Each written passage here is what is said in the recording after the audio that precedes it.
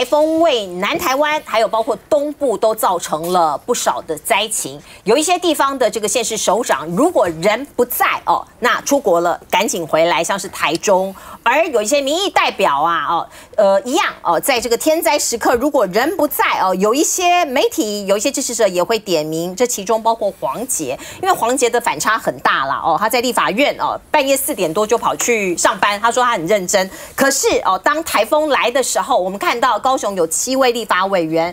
独独他不在，其实也无所谓，因为现在休会期间嘛，他出国玩，只是说他第一时间呢剖的这个照片哦，还疑似是盗图的哦。那昨天他回来了哦，其实应该是前天深夜他回来了，他就立马赶快哦到他的选区各地去孙参罪啊。我们看到他的这个选民对他也不错，都说。有一个住户大哥，这是黄杰自己脸书上自己说的。这个大哥对着黄杰说：“黄杰啊，你陪我们住户到三金半夜三点，让大家手都淤青了。”他说：“怎么了？怎么了？”他说：“因为大家 long tail 怕婆啊，怕婆啊，鼓掌啊，哦，鼓掌。”所以。支持者不会这样。他说支持者说改怕婆啊，这是伪造的，这是伪造的，我不知道。黄杰自己讲说他的支持者都给他鼓鼓掌，鼓掌鼓到手都淤青了哦。那另外还有一个人哦，是民进党的不分区立法委员沈博阳。也这么巧，他人也在国外，就是台风来袭期间。不过他持续透过脸书告诉大家说：“哦，我有为大家瞧到班次喽，我有为大家瞧到这个呃各种的这个呃各种的这个认养花莲哦，我帮你们瞧到航班了。那到底谁去调班机呢？副办哦，傅坤奇这边就说：你沈博阳，你收割啊，明明是我们瞧的。我们来看看。”全台各地都传出灾情，首当其冲的花莲行政院长卓荣泰率队勘察边坡抢修情况。土石流有非常多处是在我们居住，呃居居住的地方的后山，所以在这个部分我真的不知道要怎么办。秀林乡长哽咽表达诉求，而苏花北回铁路都中断，卓院长也当场允诺平进度，希望能够从海路能够来运输一些，呃宜兰到花莲的乡亲。至少先补救这样的状况是很好。那在预定的时间之内，把这些铁公路能够完成的把它。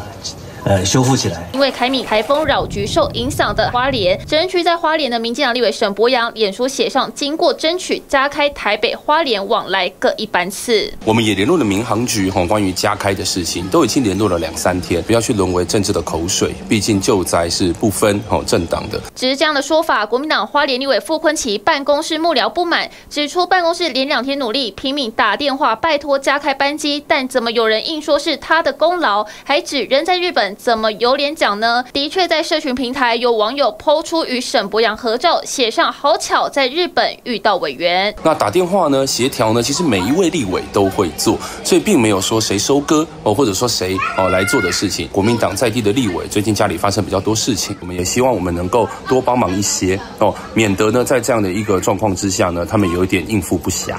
哎，博弈。先讲这次凯米台风造成了南台湾重创淹大水，嗯，所以对于高雄而言，只要是对于高雄市长有想法的民进党立委，全部都破网啊，全部都上网去看灾啊，说什么赖瑞龙、林黛华、邱意莹等等，全部都是。但是被戏称隐藏的隐藏版的高雄市长候选人黄杰消失了，完全不见。那我我要讲一句实话，刚刚大佬跟来宾都讲很多。立法委员在休会期出国，其实真的没有什么了不起。这你想去就去，但是你就坦荡荡、光明正大去嘛，没有关系嘛。但是他的做法却是神隐消失好几天，在过程当中，不止可能有疑似盗用里长的图之外，他还说我们的团队很认真，在那边帮忙做看灾。如果这么方便的话，那以后我们都不用去现场看灾了嘛，我们就上网抓图、云端抓图，对，对，然后说我们的团队也非常认真。我觉得不需要这么取巧了。好好的努力，我相信民众是看得见的，你的智者会感受得到。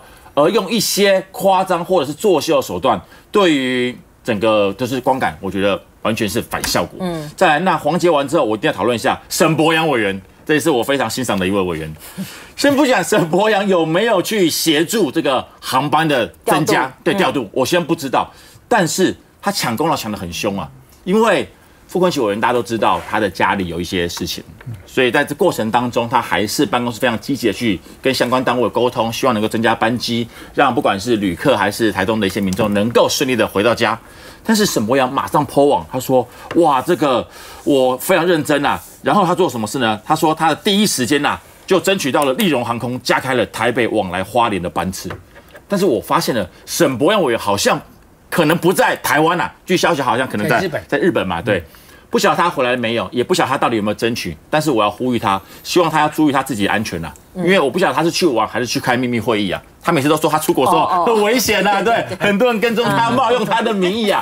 委员的生命加安全非常重要，希望沈博阳委员在你关心花莲的同时，也请你自己注意自身安全，千万不要发生危险的意外。但最后我要先补充一点，我最受不了的不是沈博阳，也不是黄杰，我最受不了是卓荣泰。他怎么说？他说我们这次因为台风的问题，他说欠了东部安全回家的路很多次了，但是因为花莲的铁路受阻，所以导致他未能在第一时间去花莲，内心感到非常的不安，甚至还说未来一定会提供花莲一条更安全回家的道路。我请问一下，花东三法是谁反对最大声的？花莲大地震是老天有眼是谁讲的？全部都是你民进党讲的，结果现在居然出来讲这些恶心，然后看似温暖的话，我觉得这才是最糟糕的态度。之前是什么态度？到现在居然为了骗选票出现这种反差的行为，我觉得民众真的要唾弃这种做法。我觉得这三天哈，因为我的脸书受到洗版两千多则哈，那我完全无感。为什么？因为看起来走心的是黄杰嘛，黄杰。他第一次遇到这么高强度的攻防，以前他说贴标签，然后就闪了都不论数，所以他现在觉得错到了，因为跟他的选区有关，他的选民正在对他呼喊的时候，他错到不行啊，所以你基本上可以看到这两件事情。沈博阳，你去日本玩就去玩就好了，不要再扯什么机密了。我很担心你的饭店又多出了一碗炒饭，又跟立陶宛一样，那岂不就是很尴尬吗？又要扯什么机密？不用去玩就去玩，可是不要在这个过程中又要赶挂嗲背啊！这这个交通部啊，这个航管局，这个都是我安排的。你在日本，然后人家辛苦成这样，然后又是你安排的。另外一个环节，我必须讲哈。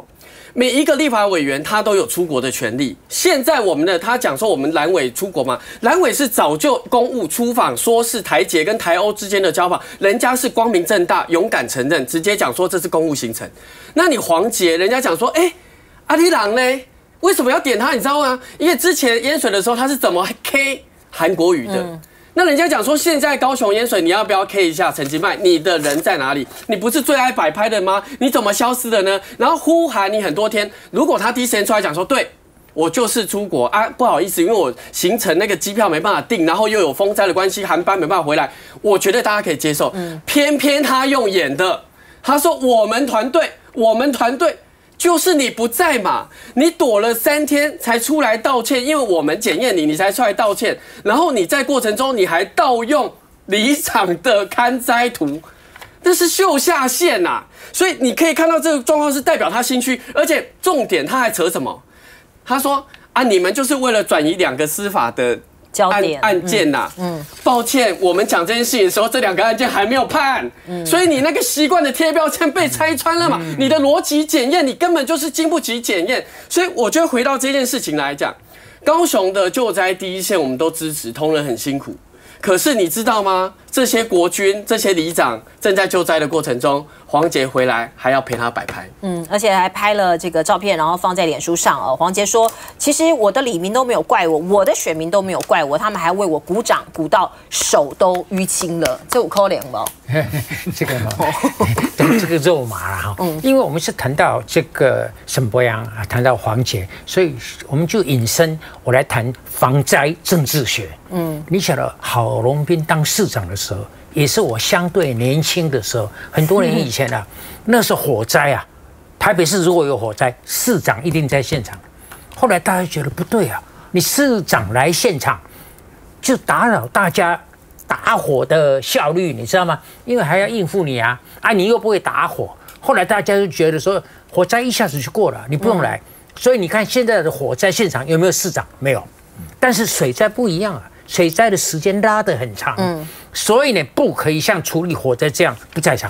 你最好是第一，这个政治学是这样：第一，你要在国内；第二呢，你最好去现场。第三，你要去的时候，你要想我要坐车去呢，坐战车吗？还是坐普通车呢？还有第四，我去的时候我穿什么衣服？那我穿什么鞋子？要不要穿袜子？还有到了现场会不会聊了不？啊，那聊了一些，我裤管要不要卷起来？还有呢，像你们媒体，你们现场采访的时候，最好是派女孩子穿着透明的雨衣。然后风吹来，这个衣服就掀起来 哦。我这个有点多了啊，不是不是 啊，然后一吹，然后吹来哦，就真的跌倒了，就不好看了哦，就遇倒要倒遇不倒这这个样子，这个叫政治学嘛啊。然后呢过了发钱，发钱五十公分花两万块哦，所以这个就是防灾政治学。但是为什么大家都在场，大家都在国内，为什么只有沈博阳跟黄姐？不在，我认为他们两个都是意识形态非常强烈，在国会这一番恶斗过程中，他们两个都斗得精疲力尽。哦，所以所以放假，所以一到休会的时候，他们要啊，他们要到国 国外去透透气，哎，要透透气，因为太累了。那为什么不敢讲？可以讲啊，为什么不敢讲？休假正常啊。火候还没有到。哦，火候还没有到。哎，都都新科的嘛。来，我们进一下广告。住的安全，活得平安。一人一点力，爱就大无限。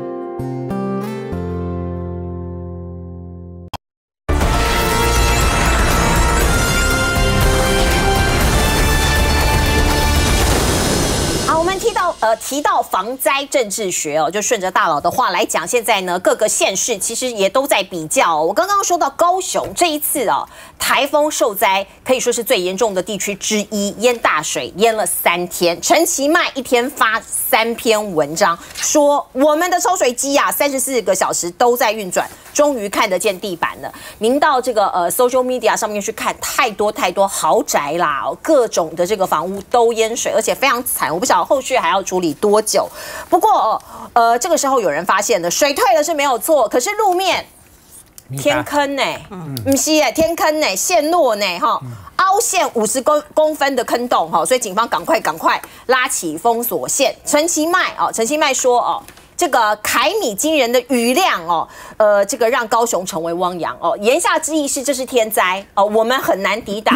蓄洪池啊，哦，滞洪池啊，都盖好了，可是通通都已经满了，还是没有办法完完全全来输来防洪哦。所以未来可能还要检讨，是不是钱还要再给多一点？因为大家都讲说这个呃，高雄已经拿到很多的呃，包括防洪的补助款。我们先来看看网络声量好了，网络声量分两种，声量高的、讨论度高的。还有好感好感度高的哦，拿六都来看，网络声量这一次在台风期间声量最高的是卢秀燕，讨论度最高啦哦，因为他从美国，他本来要访问，他去美国访问，一落地五个小时又搭飞机回来了哦，这个事情以前没有人做过哦，所以他讨论度非常高。你看第一名蓝色这一块哦，远远超过其他五都。可是如果我们要讲到好感度的话，第一名是张善政，嗯，桃园市市长。其实桃园好像也没有什么讨论度，他讨论度很低哦哦，张善正，可是好感度却最高哦，感觉是一个默默做事的人。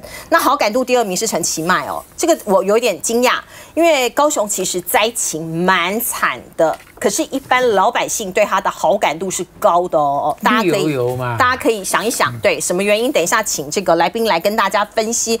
不过，我们来看看总统赖清德，他礼拜五到高雄去呃巡视灾情的时候，讲了一段话，我们来听听看有没有道理。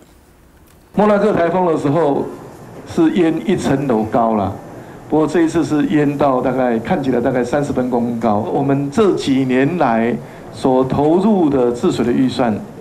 还是有发挥的功能，所以刚刚陈其迈市长或是他高雄市政府这个水利局局长简报中所请求的治水预算，行政会会鼎力来支持。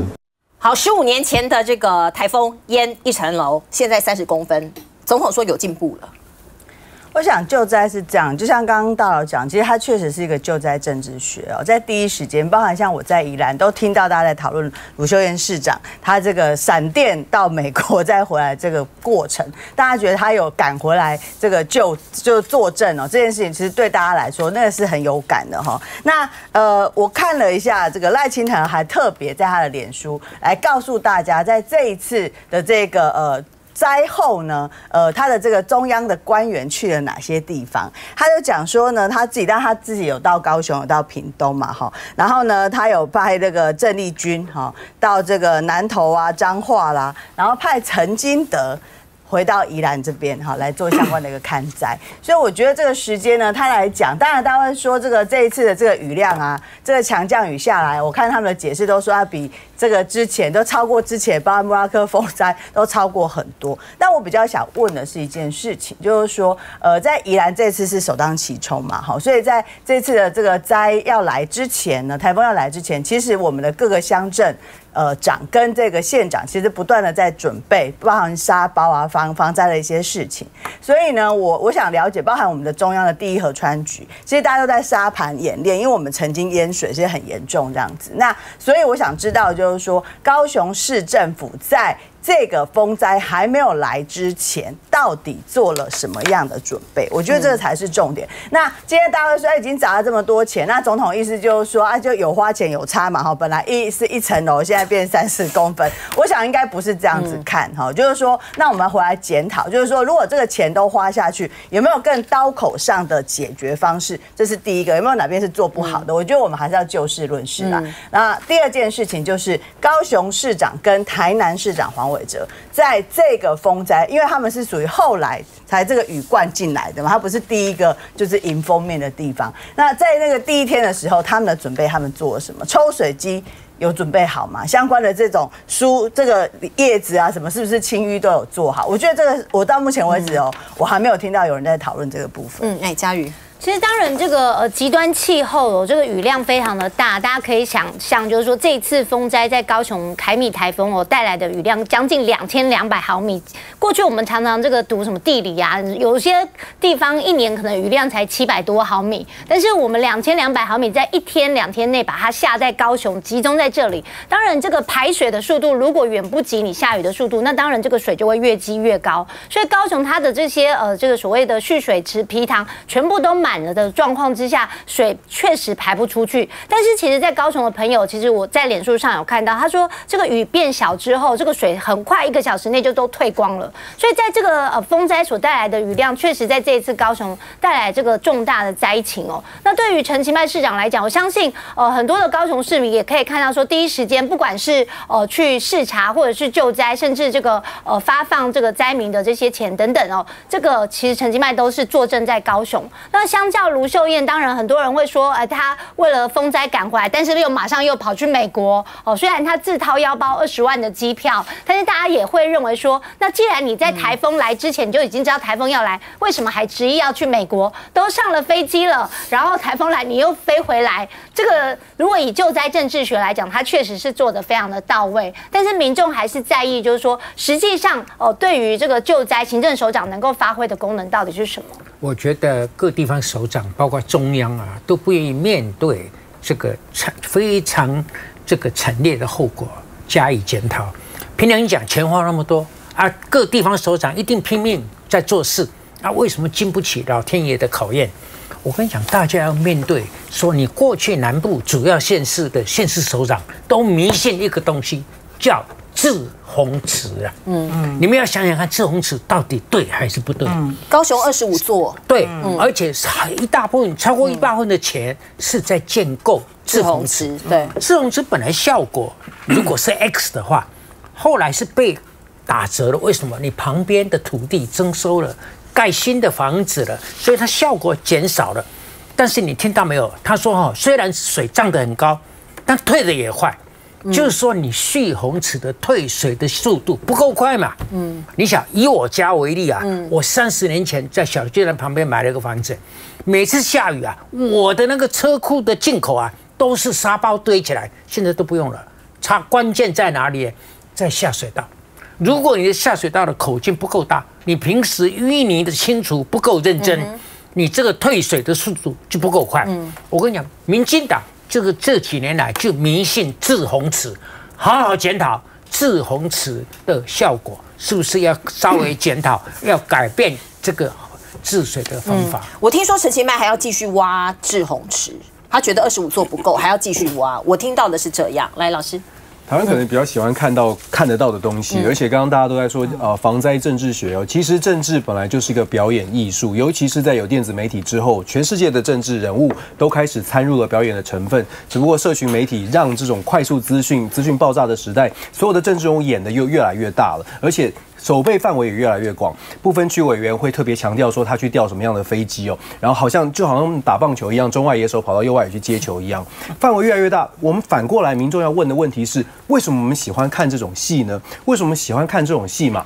为什么政治人物觉得这样的演戏是有效的？其实真的，我觉得在台湾，我其实我刚刚从修修正回来，就在我前两个礼拜回来之前，修正也做大也淹大水，刚好遇到了这个台风风灾，一整个礼拜超过七天的时间，修正两百七十万户停电，我自己也是受灾户。嗯，可是我们在当地政治人物当然也会强调说要检讨要检讨，可是有没有这么夸张的表演？有没有这么夸张的说哦这边的电网修复是我的功劳？没有这么做，这不是强调说好像美国比较有民主素养，而是我们真的在台湾的民众，长期以来啊，真的觉得哦，好像政治人物一定要做点什么事，秀秀秀出来，在这里呈现他在这边关注我们，我们就觉得好像哦有英雄降临了。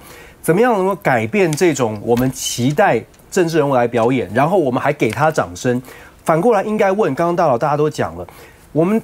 难道十五年不用进步吗？本来就该有的进步，为什么会变成政治人物讲出来说有进步，我们就没事了？台湾民众真的很善良，我们的民主发展到现在，我们应该要反问政治人物，不需要你们作秀，你们给我的不应该是灾难，不应该是灾难之后，然后我们还要给你鼓掌说哦有进步，这不是民众应得的，我们民众应得的是根本这些事情都不应该发生。嗯，好，我们进一下广告。